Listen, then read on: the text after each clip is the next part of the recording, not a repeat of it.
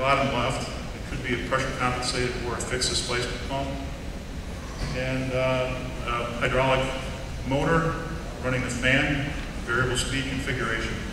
Normally there is a pressure relief valve. Usually it's a reverse acting proportional relief valve, so as the temperature goes up, the relief valve uh, discontinues bypassing while the tank